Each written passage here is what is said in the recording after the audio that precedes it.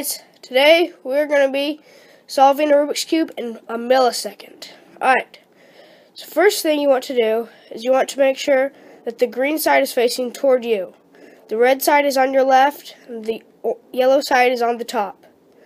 So the algorithm is D, U2, B,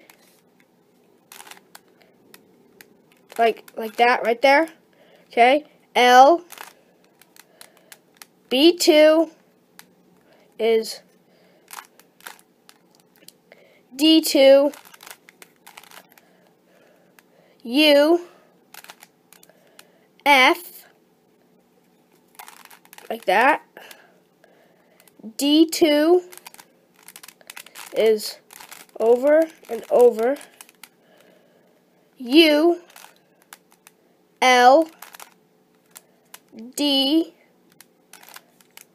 L2 D2 U R and U2. Now your cube should look like this.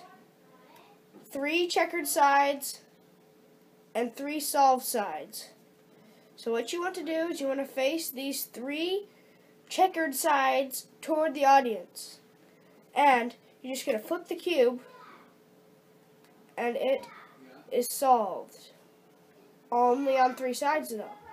So what I don't want them to see is these three sides. But I only want them to see these three sides. So make sure you don't give away the secret. Mr. Entertainment. See you next time.